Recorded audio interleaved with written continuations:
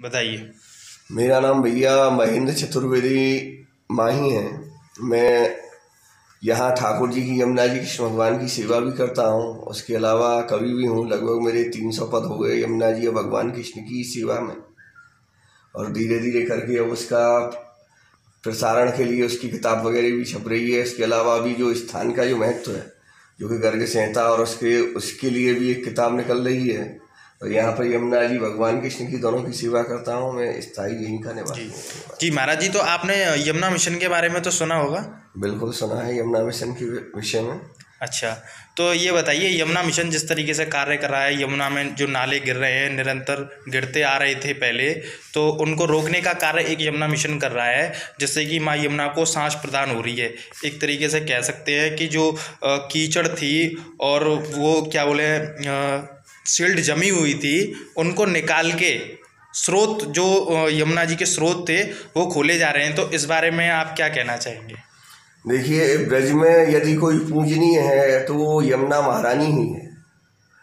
और यमुना मिशन ये बहुत अच्छा सराहनीय कार्य कर रहा है, और ब्रज के, ब्रज में जितने भी भक्त हैं, ब्रजवासी हैं, और ब्रज से जो आ रहे हैं, उन सबको यमुना जी के लिए ही कार्य करना चाहिए, क्योंकि ये ब्रज जो चौरासी कोष की भूमि है वो सब भगवान कृष्ण की राजधानी है, घर है, लेकिन यमुना महारानी पटरानी। यदि ब्रज में यमुना जी के उत्थान के लिए कार्य नहीं हुआ, ब्रज में यदि भगवान की प्राप्ति हो सकती है तो वो यमुना महारानी के शरण में आकर ही प्राप्ति हो सकती है।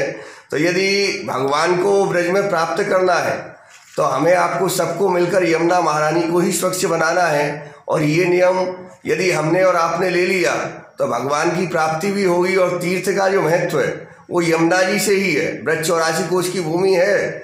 लेकिन वो सब घर है। घर घर का महत्व तो हर मनुष्य के जीवन में रहता है। लेकिन जितना महत्व तो घरवाली के लिए होता है, उतना किसी के लिए यदि भगवान को प्रसन्न करना है ब्रज में आकर तो सबसे पहले यमुना जी को ही स्वच्छ करना है। यही यमुना मिशन कर रहा है। इसके लिए यमुना मिशन के लिए हमारा धन्यवाद है।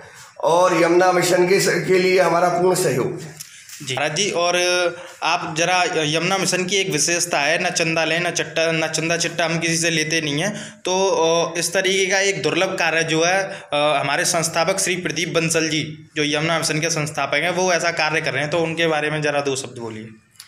प्रदीप बंसल जी काफ़ी अच्छे आदमी हैं। हमारे व्यक्तिगत रूप से भी हमारा थोड़ा उनसे परिचय है। तो अच्छे आदमी हैं और उसके अलावा वो जो लोगों में जागरूकता फैला रहे हैं। यमुना जी के प्रति ऐसी जागरूकता हर व्यक्ति को को करनी चाहिए जो कि यमुना जी के प्रति भावना रखता है। तो उनका काम काफ़ी सराहनीय है और काफ़ी अच्छे आदमी हैं जो कि यमुना जी के विषय में सोच रहे हैं क्योंकि वृक्ष और राशि कोष में। ब्रज भूमि के लिए तो सब सोच रहा है, प्रदीप बंसल जी यमुना जी के लिए सोच रहे हैं तो ये काफ़ी अच्छी बात है।